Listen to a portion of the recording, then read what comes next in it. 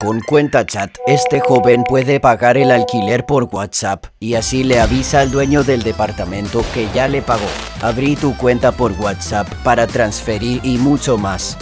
Cuenta chat, tu banco en WhatsApp.